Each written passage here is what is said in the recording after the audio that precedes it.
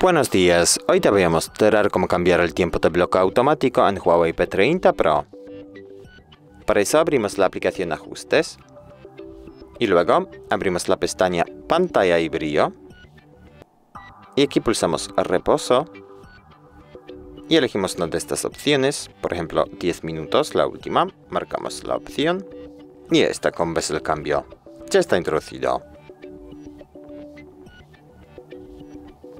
Muchas gracias por ver el vídeo. Te invito al comentario abajo y suscribirte al canal.